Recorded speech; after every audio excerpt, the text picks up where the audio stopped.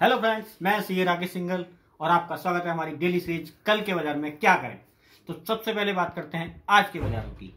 तो आज Nifty open हुआ 8689 पर और उसके बाद इमीडिएटली निफ्टी ने 8654 का लो बनाया और लेकिन उसके एक घंटे के बाद निफ्टी ने हाई बना दिया नौ हज़ार एक सौ इकतीस का। और उसके बाद जैसा कि हमने आपको कल बताया था प्रॉफिट बुकिंग स्टार्ट हुई और निफ्टी ने फाइनली 8749 की क्लोजिंग दी। निफ्टी का चार्ट आपकी स्क्रीन पर है।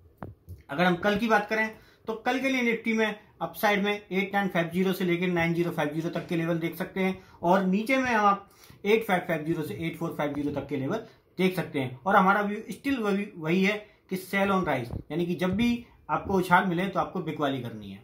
अब बात करते हैं बैंक निफ्टी की। तो बैंक निफ्टी में अगर बात करें तो बैंक निफ्टी ओपन हुआ आज अठारह सात सौ निन्यानवे पर और उसके बाद इमीडिएटली लो बनाया अठारह चार सौ तिरासी का और उसके बाद एक घंटे के अंदर बैंक निफ्टी ने अपना हाई बना दिया बीस हज़ार तीन सौ चौबीस का। लेकिन उसके बाद, जैसा कि हमने आपको कल बताया था, प्रॉफिट बुकिंग स्टार्ट हो गई और फिर फाइनली निफ्टी ने अठारह हज़ार नौ सौ चालीस की क्लोजिंग दी।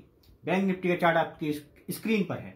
उसके बाद, अगर हम कल के लिए बैंक निफ्टी की बात करें तो बैंक निफ्टी में कल में उन्नीस हज़ार पाँच सौ से लेके बीस हज़ार तक के लेवल हम देख सकते हैं। लेकिन नीचे में अठारह पाँच सौ से अठारह हज़ार तक के लेवल भी देखे जा सकते हैं। और हमारा व्यू बैंक निफ्टी में सेम है कि जब भी कोई उछाल मिले तो आपको बिकवाली करनी है।